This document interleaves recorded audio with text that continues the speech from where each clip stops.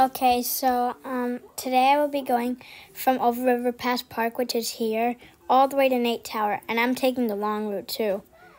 Okay, so here we go. I'm I'm now by the river. Um, I just went across the river. Now I'm up, and now we are currently under train tracks that are just being built. In fact, we're almost done with them. Now, if we keep going, um, there's Over Riverpass.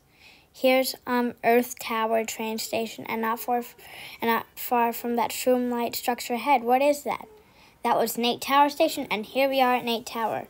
Thanks for watching. Have a great time. Bye.